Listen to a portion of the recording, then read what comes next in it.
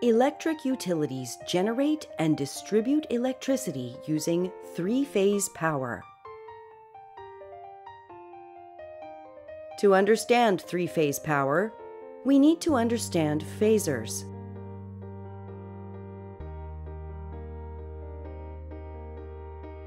Phasor diagrams can be used to describe all AC voltages and AC currents.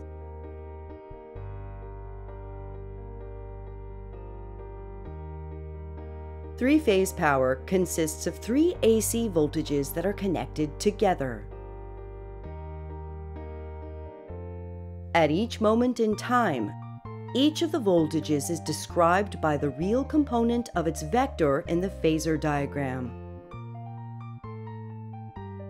This creates three sine waves that are offset from each other by 120 degrees.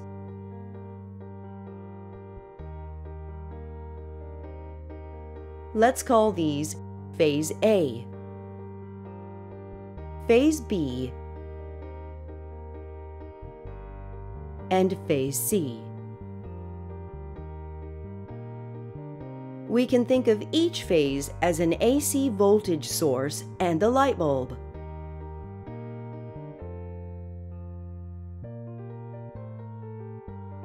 Each light bulb represents several homes.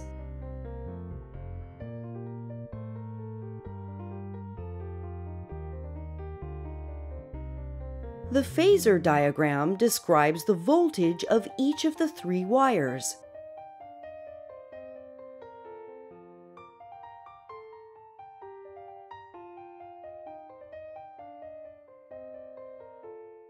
Phasor diagrams can also describe the current through each of the three wires.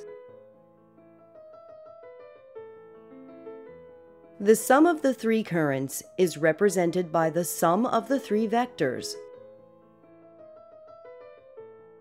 If the three light bulbs are identical, the sum of the three currents is always zero.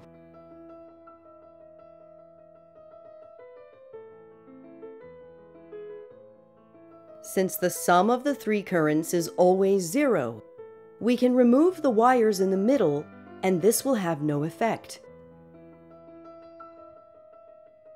This allows us to deliver electric power using fewer wires.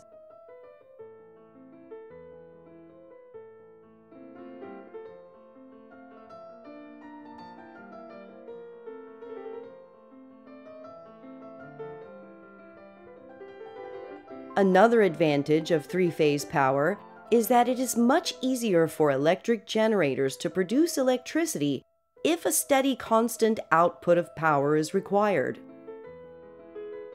Although the power through each light bulb is constantly fluctuating, the sum of the total power through all three light bulbs is always constant.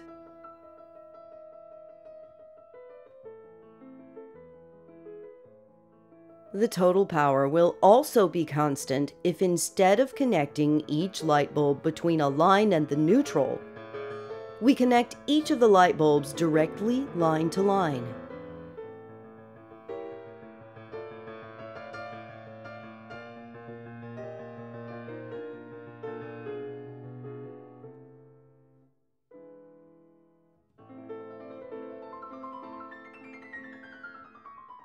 In this example, the light bulbs are now connected line to line, but the three coils of the electric generator are still connected line to neutral.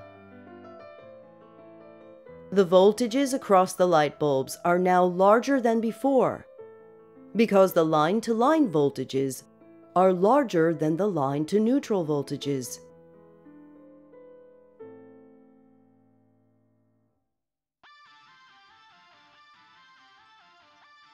The line to neutral voltages are represented by the three small vectors, and the line to line voltages are represented by the three large vectors. The line to line voltages are offset from the line to neutral voltages by 30 degrees.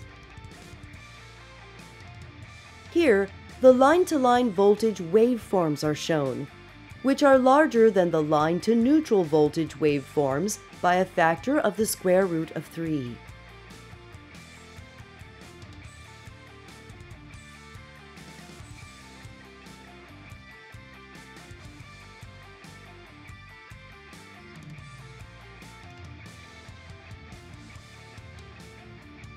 Here, the line-to-line -line voltage waveforms are shown, which are larger than the line to neutral voltage waveforms by a factor of the square root of 3.